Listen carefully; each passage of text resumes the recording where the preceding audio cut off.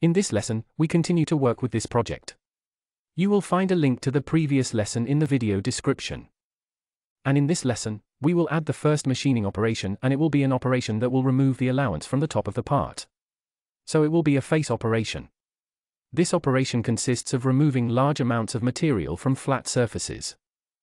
And it's a face operation, choose this operation. When it comes to machining operations, we need a tool. And we can define such tools based on the tools we have. We can define them based on the catalog of the tool manufacturer. But we can also use the Fusion 360 library for training purposes. And in this lesson, we will use a tool that is already saved in Fusion 360. And to use such a tool, click the Select button. Then select the Fusion 360 tool library. And here we will use the filters. Select the milling filter. And then select the face mill. And here we have two tools. One in the metric units, the other in the imperial units. Just select this tool with a diameter of 50 mm. And click Select to select this tool. And here below the tool section, we have the feed and speed section, where we define the machining parameters. That is the parameters with which this tool will work.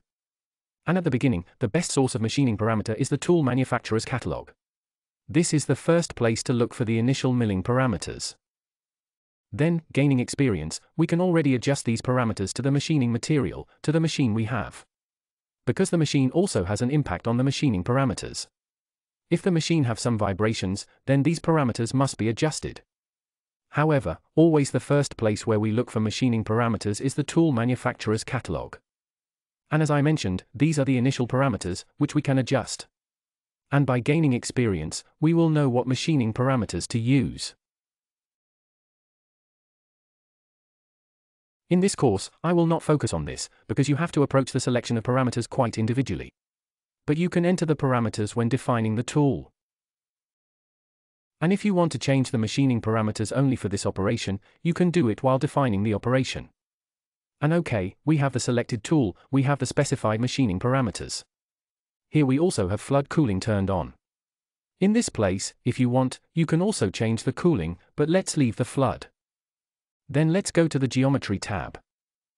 And because it is a face operation, the geometry that is selected by default is OK. We remove this material that is on top of this object. Let's go to the Heights tab.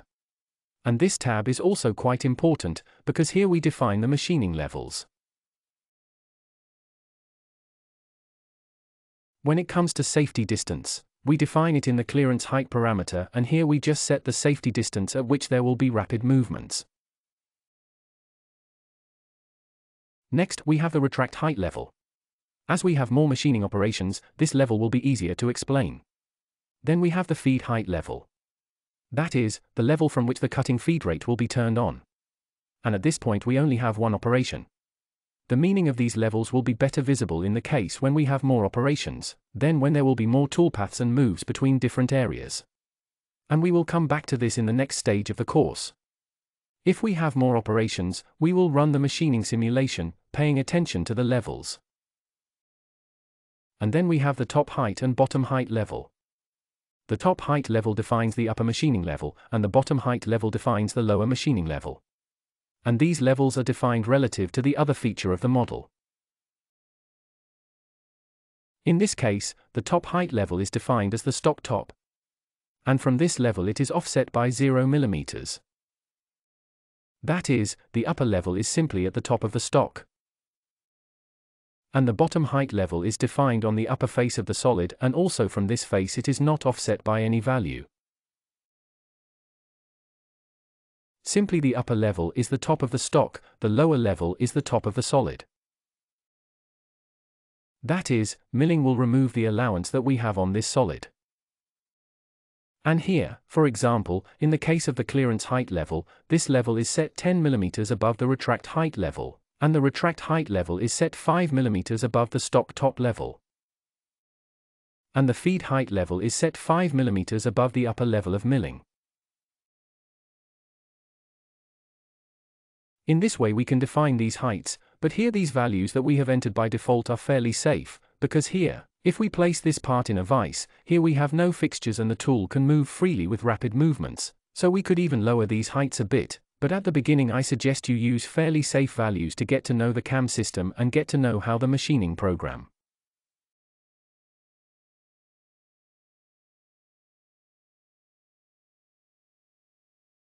Let's move on to the next tab, the Passes tab.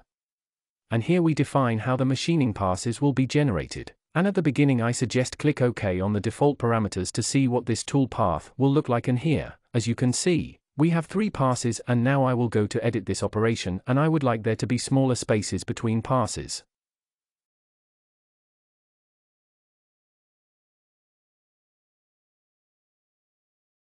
Go to the Passes tab and here the most important parameter is the stepover parameter. And this determines the width between the next passes. For this operation we use a tool with a diameter of 50 mm, and here we have the value of the stepover parameter specified at 35 mm. Click OK. And the distance between the next passes is 35 mm and it is the correct value. We could leave something like that but I will go to the edit of this operation and change this value to show you the operation of this parameter, and enter 15 mm here and click OK and as you can see, there are already much more passes. And now let's run the simulation. Right-click. Select Simulate. And run the simulation.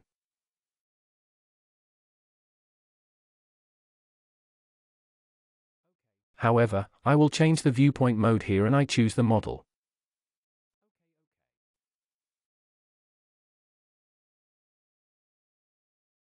And as you can see the machining has been done in several passes, once in one direction, once in the other direction. And if you would like the milling was done in one direction so that the tool does not work once in this direction, once in other direction, you can also change it in the Passes tab.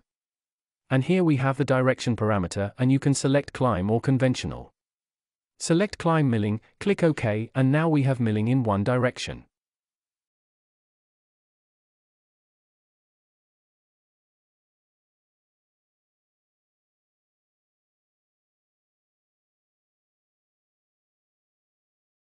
Let's go to the simulation and now, we have machining in one direction.